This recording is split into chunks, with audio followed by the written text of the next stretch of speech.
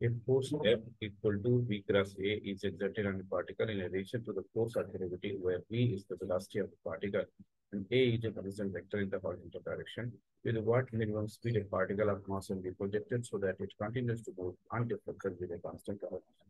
Suppose this is object, its weight is acting in downward direction and uh, we assume that it is moving in upward direction. So F is acting in upward direction which is F equal to V cross A. So this is positive J cap, this is negative J cap.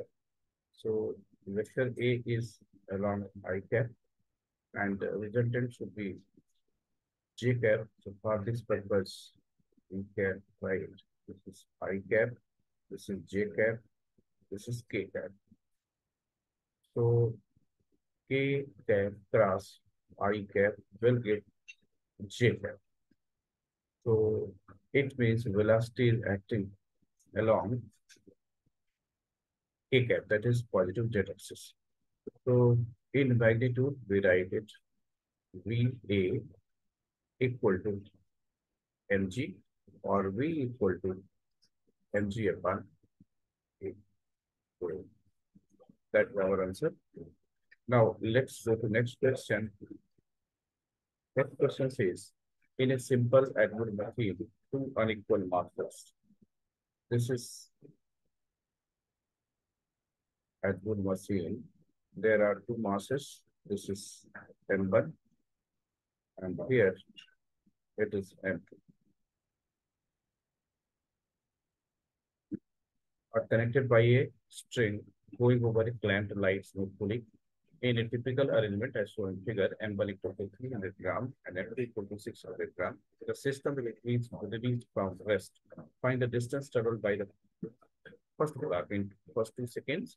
Find the tension in the string and find the force exerted by the clamp on the pulley. So M1 is given as 0 0.3 kg. M2 is equal to 0 0.6 kg.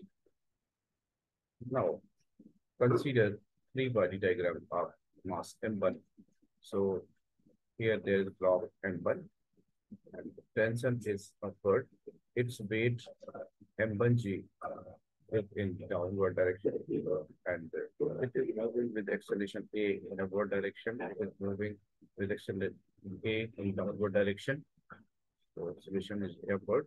So we can write the equation it will be T minus M1G equal to M1A or T equal to M1G plus M1A. Now we consider the motion of second block. For that purpose, we draw the free body diagram. Tension is upward. Its weight M2G is downward and it is moving with acceleration A in downward direction. So we can say for M2, M2G minus tensor is equal to M2A. Now, in place of tensor, we can write this. So M2G minus M1G plus M1A is equal to M2 A. Now we can put the values 0 0.6 into 10 minus 0 0.3 into 10 plus 0 0.3A equal to 0 0.6A. We can simplify here. This will become 6, this is 3, so it will become 3 and uh, this 0.6A, this is 0.3A, it goes to RHS, so this will become 0.9A, from where we get A equal to 3 upon 0.9, uh, it will be 10 by 3 meter per second square. So this is acceleration. Now, we have to find out distance traveled in milliseconds. So let's evaluate it. Distance traveled in first two seconds, we can apply the formula S equal to ut plus half at square. So S is to be found starting from west so S equal to 0 plus half A. Acceleration we have got as 10 by 3 and time is 2 second 2 square. So this will be equal to 6.67 meter. Now, we have to find out the tension. So for that, you can consider any equation. So say we consider first equation this one, T equal to M1 G plus A. M1 is 0 0.3 and G is 10, A is 10 by 3. Now we simplify, so we will get this will become 0 0.3 multiplied by 40 upon 3.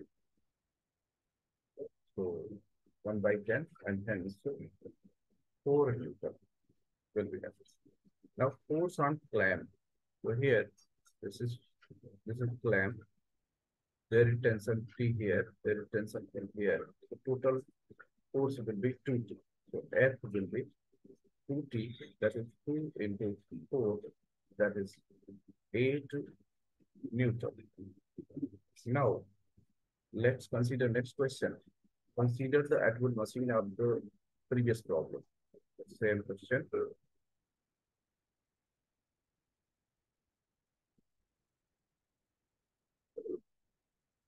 This mass is 0 0.3 kg and this mass is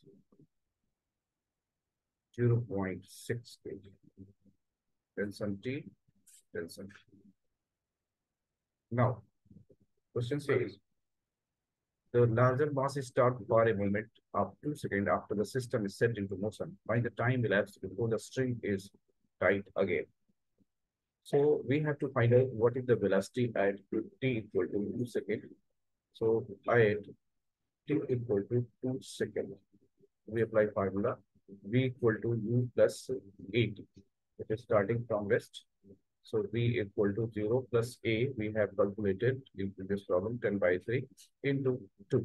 So this will be equal to v equal to 20 by 3 meter per second. Now, distance moved to when its velocity becomes 0. Distance moved when its velocity becomes zero. So in that case, it will move, it moves under gravity. So acceleration will act in a downward direction. So we apply formula V equal to U minus GT. So final velocity becomes zero and initial velocity was 20 by 3 meter per second minus g is 10 into t. So from here, t will be equal to 2 by 3 second. Now, let's see next question. We are given here a block uniform rod of length 30 centimeter, find mass of 3 kg. So this is 10 centimeter and this is 20 centimeter. The mass is uniformly distributed, so we can say mass of this portion will be 1 kg, mass of this portion will be 2 kg. And the strings shown in the figure are pulled by constant force of 20 Newton and 32 Newton. Here, the situation is like this. This is pulling. This force is 32 Newton and here there is luckily and this force is 20 Newton. Now, net force on this block will be 12 Newton towards the right. So, net force equal to 12 Newton towards right. So, its acceleration will be A towards right.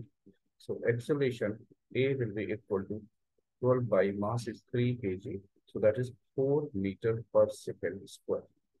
Now, Let's draw the figure again.